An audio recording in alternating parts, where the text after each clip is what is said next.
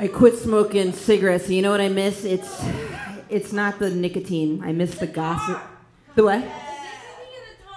The tar? I don't miss the tar. But that's a really is nicotine tar? Oh, I, I, okay. I'm gonna be total tar tobacco. I'm gonna be totally honest with you. I was never that discerning of a smoker that I was like, love the lit nicotine, love the tar. I love it all. But did you quit? I haven't. You haven't quit.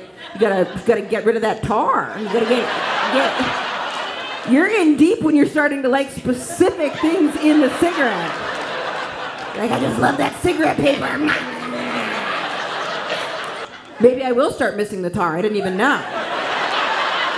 Now I'm gonna be in bed like, is what I need in my life tar? Is that what I want Huh, That's what I'm missing.